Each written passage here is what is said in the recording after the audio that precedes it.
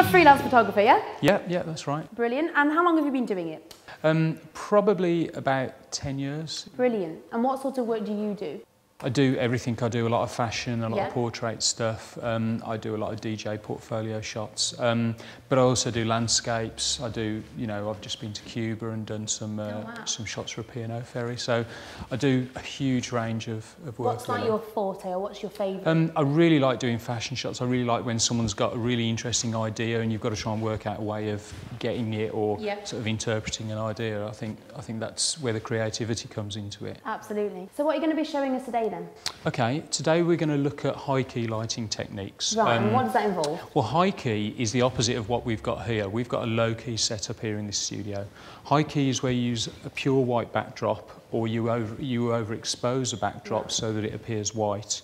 Um, and that's what high key is effectively. So is there many ways of doing this or? Yeah, I mean, there's lots of different ways of doing it. Um, today we're going to look at three different ways. Oh, okay. um, we're going to look at obviously a studio setup. Yeah. Um, we're going to look at a slightly lower budget setup where you've got two lights, Okay. and then we're going to look at a really cheap setup where you use a window and you use a reflector to to create the Ah, light right, on the model. Is there any way you could just show me now an example of some high key photography?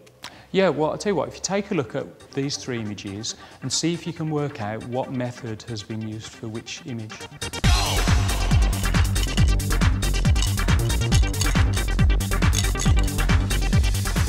Okay, I'm going to leave Paul to set up the studio and I'm going to have a little word with Emily who's doing Amy's makeup. Hello. Hi. So how do you get a look that both the photographers and the models love? I think the most important thing is the base. Okay. Good concealer, uh, very good foundation. Right. This is because the camera picks up every detail.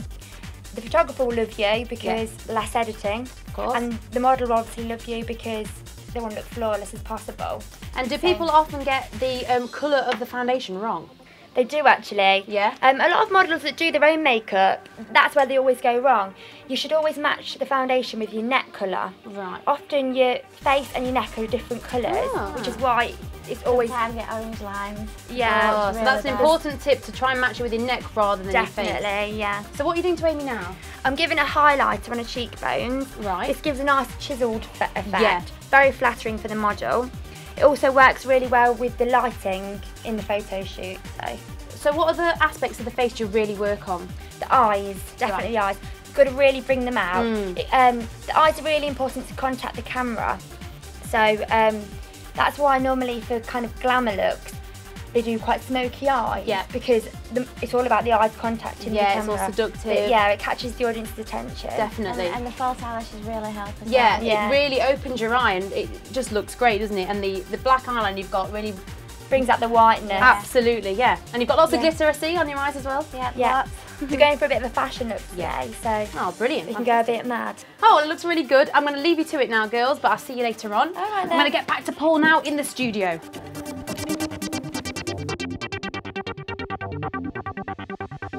So, Paul, what's first? Okay, well, first of all, we're going to try and get a, a high key lighting effect using some very cheap and simple equipment. Um, basically, we're going to use a reflector Yep. um, and a window um, to get the effect. Now, the window that we've got has got bars on, so obviously those are going to show up in the photo, but if you wanted a pure white background, Yeah. you just make sure you found a window that hadn't got the bars on, Oh, and, yeah. it, and it would be fine.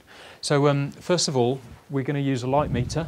Right. And what's that for? Um, the light meter is going to tell us what settings we need to use on the camera. Right. Um, the way it works is, first of all, you program the light meter with the ISO setting that you've got on your camera and with the shutter speed that you think you're going to want to use. And the light meter will work out the aperture that you need to use in that situation. So what I'm going to do first, because we're trying to get a difference with the background, we, we want it to overexpose and we want her to expose perfectly. We're going to meter for the background just to see what that's coming at. And that's coming up at f4. Yeah. So then what we do is we meter. Uh, do you want to just hang? Yeah. If you grab the reflector and just um, get it into position, Yeah. that's great. and then we meter for Amy's face. And that's coming up at f2.8. Right. So, What would you do, say, if you didn't have a light meter then? Okay, well, yeah, you don't you don't need a light meter. A lot of people don't use one anymore. Um, I personally don't use one any, anymore because obviously with the advent of digital, you don't you don't really need it. So um, what you do is set your camera to um, the TV mode, Yeah. which is where you set the shutter speed in the first place and the camera works out the aperture, same as we did with the light meter. Yeah. Um, obviously, if we just get a reading off that, yeah, it's reading the same as the Okay. uh, light meter. And then if we take a reading, Yeah. literally just by pointing it at Amy, yeah, that's given us f2.8 again. So what I'm going to do is I'm going to take, um, if you hold that, again, yeah. I'm going to take take a quick shot and just see how it's how it's out and just see how it's how it's coming out. So ready, one, two, three.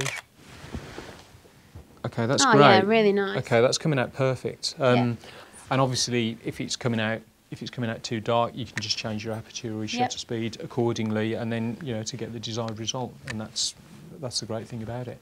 Fantastic. So, can you tell us what would happen then if we didn't have a window and it was dark? Okay, well that's another story. So come with me and we'll uh, we'll sort Let's that go. out.